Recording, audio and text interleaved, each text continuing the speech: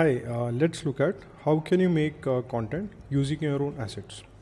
First step is to upload your assets. There are a couple of ways in which you can upload. First is go to manage brand section from here. You will see an uploads option here. On this page, you can upload your images and videos. In case you want to remove any of any of your uploaded assets, hover on it and you will see a delete option here clicking on this will delete that particular uh, asset from this section.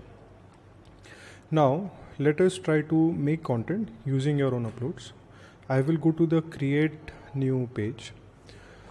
The option to use your own assets would be here inside my uploads. When I click on this, I will see all of my uploaded uh, assets in this. If you want, you can also click on this particular option to upload images or videos on this page itself.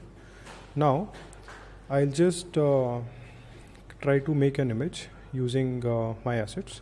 So this is my caption. I'll just select two of these assets and I'll select the single image option. In this case, the AI will now try to make content using my assets only. It will not uh, go to the copyright free sources the way it goes for other images. Uh, there are multiple things to consider here. While you are selecting uh, your assets, it is also important to note that not all assets can be used for all type of content.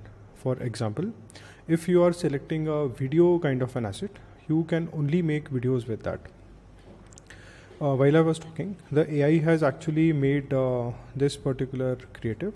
If you notice, it has actually made uh, using my assets only. It has not gone uh, to the copyright free uh, source library.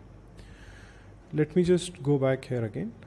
Uh, just to show you that you can also use this my uploads within the multi-line script. In this case, you can give your script as an input and you can use your uploads we do plan to add uh, support for your uploads in the other sections also. Uh, please let us know if you have any questions. Thank you.